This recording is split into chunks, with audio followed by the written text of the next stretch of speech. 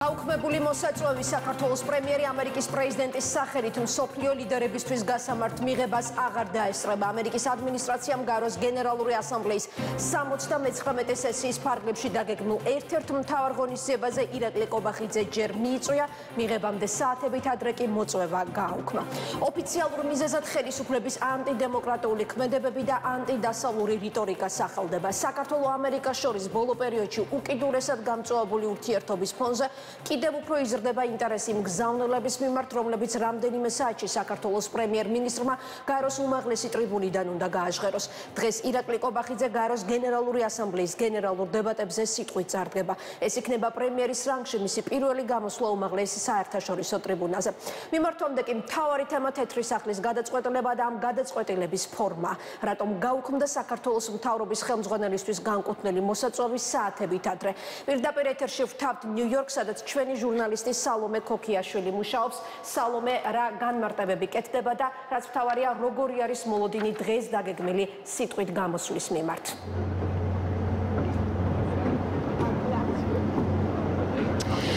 დღეს დაგეგმილ სიტყვით გამოსვლამდე პრემიერ-მინისტრს ექნება ასევე სიტყვით გამოსვლა გაეროს უშიშროების საბჭოს ფორმატში, ამ საბჭოს ხდომის ფორმატში, თუმცა მანამდე უნდა ვთქვათ, რომ გენერალური დებატები რა თქმა უნდა გრძელდება და ერთმანეთის მიყოლებით გაეროს მთავარ პოლიტიკურ ტრიბუნას იყდავენ იკავებენ სოფლიოს სხვადასხვა ქვეყნების ლიდერები.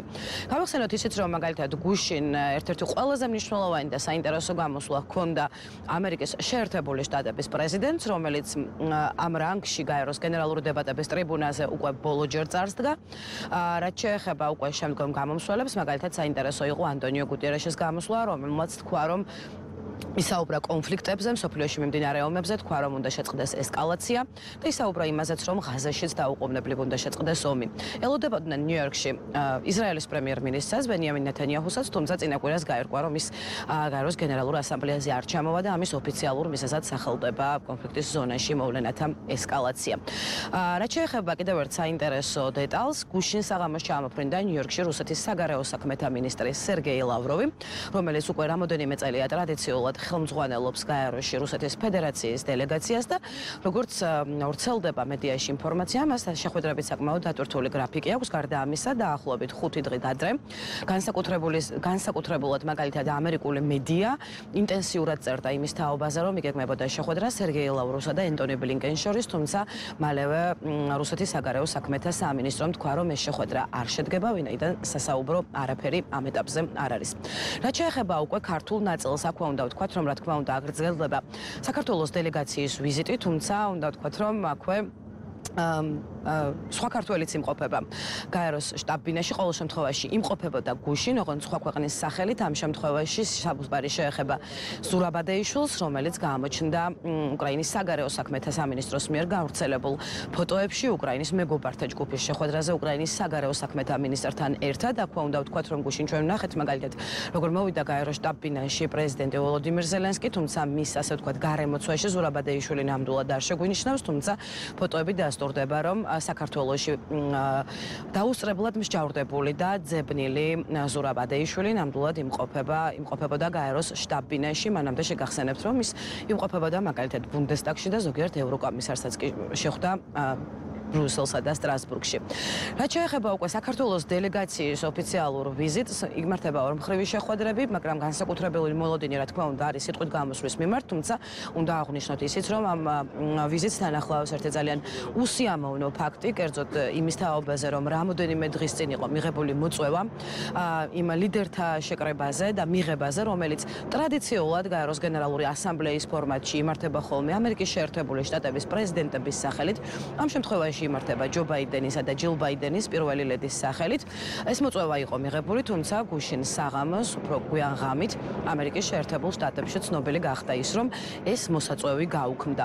თავად გარდა იმისა, რაც გაავრცელა ამ თემაზე საქართველოსში ამერიკის შეერთებული შტატების საელჩომ სხვა ინფორმაცია ოფიციალურ უწყებებს ამერიკის შეერთებულ შტატებში არ გაავრცელებიათ, რაც შეეხება უკვე ოფიციალური თბილისის პოზიციას, ჩვენ მქონდა საშუალება ამ თემაზე გვესაუბრა საქართველოს საგარეო საქმეთა მინისტრთან, რომელმაც ფაქტს უწოდა სამწუხარო და აღნიშნა რომ იტოვებს იმედს, რომ პარტნიორები, რომლებმაც ასეთი სამწუხარო გადაწყვეტილება მიიღეს, კვლავინდებურად საკუთარ გადაწყვეტილებას გადახედავენ. აქვე ქვეყნის პირველი დიპლომატი დასცენს იმას, რომ ქვეყნებს შორის, მათ შორის მეგობარ და პარტნიორ ქვეყნებს შორის შესაძლებელია არსებობდეს რიგ საკითხებთან დაკავშირებით განსხვავებული მოსაზრებები, თუმცა რეალურად მეგობრობისა და პარტნიორობის ფორმატში ყველაფერი წყდება დიალოგის, ღია დისკუსიის ფორმატში და ილია დარჩიაშვილი ხას უსვამს იმას, რომ საქართველოს დიალოგისთვის, დისკუსიისთვის მეგობრებთან და პარტნიორებთან იყო და ახლაც მზად არის.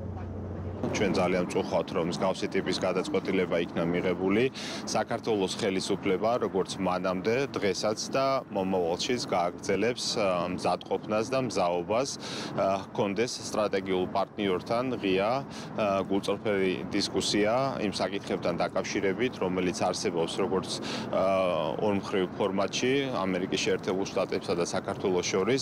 ჩვენ ყოველთვის გამოვხატავთ ჩვენს მზადყოფნას ღია გახსნელი გულწრფელი ყველაფერი დიალოგის და დღესაც იგივე პოზიციას ვინარჩუნებთ მიუხედავად ამ ძალიან სამწუხარო გადაწყვეტილებისა რომელიც იქნა მიღებული ჩვენ მზაობას გამოვხატავთ კონდეს ღია დისკუსია ჩვენს სტრატეგიულ პარტნიორთან ვინაიდან მიგვაჩნია რომ დიალოგს ურთიერთ აზრების ურთიერთ გაცვლას არ აქვს ალტერნატივა არსებობს საკითხები როდესაც ქვეყნებს აქვს სხვა სხვა შეხედულებები ზოგადად და დიალოგი და პარტნიორობა და მეგობრობა ჩვენ ვიცით სწორედ ამ მიმართულებით, როდესაც არის ღია გულწრფელი საუბარი. დარწმუნებული ვართ, რომ პარტნიორები, რომლებმაც რომ პარტნიორ პარტნიორმა რომელმაც მიიღო ეს გადაწყვეტილება, მათ ექნება შესაძლებლობა, რომ კიდევ ერთხელ გადახედონ ამ გადაწყვეტილებას.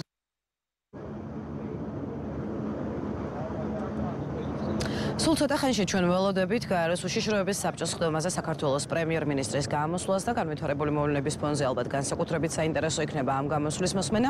მით უმეტეს ისეც ხდება როგორც როგორც ჩვენ ვიცით აქცენტები გაკეთება მშვიდობის შენარჩუნებაზე და ასევე რა თქმა უნდა სამშვიდობო როლზე ჩვენი ქვეყნის რეგიონში სტაბილურობის და მშვიდობის შენარჩუნების კუთხით, თუმცა გაეროს მთავარ პოლიტიკურ ტრიბუნას ირაკლი კობახიძე დაიკავებს თბილისის დრო დაახლოებით ღამის პირველი საათისთვის უბრალოდ გვიან ღამით და როგორი იქნება პრეზიდენტის პრემიერ-მინისტრის გზავნილები ჩვენ ამას ყველანი ერთად შევიტყობთ. ისევე როგორც იმას გაჟღერდება თუ არა ამ ტრიბუნიდან ახალი ინიციატივები ყოველ შემთხვევაში ცნობილია რომ საქართველოს პრემიერ-მინისტრი გააროს გენერალურ დებატებზე საკუთარ სიტყვაში გაამახვილებს. ყურადღებას ჩვენი ქვეყნისთვის მნიშვნელოვან და პრიორიტეტულ საკითხებზე ისეთი როგორიც არის ეს ევროპული ინტეგრაცია ქვეყანაში მიმდინარე პროცესები რეფორმები ეკონომიკური მონაცემები და მაჩვენებლები და რა თქმა უნდა ტერიტორიული მთლიანობის აღდგენა რუსული ოკუპაციის პირობებში, რომელსაც საქართველოს უშვებს და განიხილავს საკუთარი პირობისამებრ მხოლოდ და მხოლოდ მშვიდობიანი გზებით. დღეს არის მნიშვნელოვანი დღე საქართველოს პრემიერ-მინისტრი მიმართავს გენერალურ ასამბლეას და ექნება თავარი გზავნილები ის რომელიც ჩვენ ჩამოვიტანეთ საქართველოსდან და გვექნება შესაძლებლობა სწორედ გენასამბლეის პარკლებში პრემიერ-მინისტრის ასე ვთქვათ სიტყვის გამოსვლის დროს გავაჟღეროთ ჩვენთვის უმნიშვნელოვანესი საკითხები რომელიც ეხება ჩვენ ქვეყანას ჩვენი ქვეყნის საგარეო პოლიტიკურ პრიორიტეტებს და ასე შემდეგ. ვფიქრობ რომ ძალიან საინტერესო გამოსვლა ექნება პრემიერ-მინისტრს და ესეც იქნება ერთ-ერთი მორიგის შესაძლებლობა იმისი რომ ვისაუბროთ ჩვენს ქვეყანაზე, ჩვენი ქვეყნის გამოწვევებზე.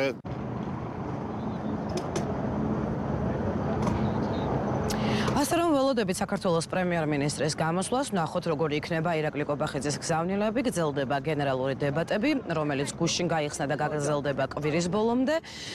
ნიუ-იორკში იმასაც გეტყვით, რომ არის უსაფრთხოების განსაკუთრებული ზომები მიღებული, თუ გავიხსენებთ მაგალითად იგივე პრეზიდენტობის ერთ-ერთ კანდიდატზე დონალდ ტრამპზე ორგზის განხორციელებულ თავდასხმას, ახლა როდესაც ნიუ-იორკი არის პრინციპში მსოფლიო ლიდერთა თავშეყრის ადგილი, მაშინ როდესაც აქ იმყოფება უკლებლივ ყველა სახელმწიფოს პირველი პირი შესაბამისად ერთად გამკაცრებული ზომებით, რა თქმა უნდა, უსაფრთხოებისა არ არის გასაკვირი.